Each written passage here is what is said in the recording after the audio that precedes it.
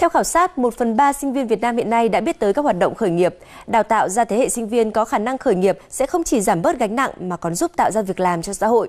Nhận thức được vấn đề này, nhiều cơ sở giáo dục đã hình thành các hoạt động hỗ trợ sinh viên khởi nghiệp.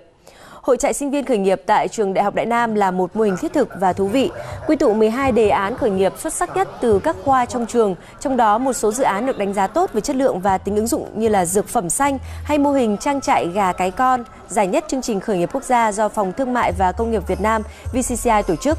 Hội trại sinh viên khởi nghiệp của Đại học Đại Nam được tổ chức thường niên và lần này là lần thứ 6, diễn ra đúng thời điểm tròn 10 năm thành lập trường.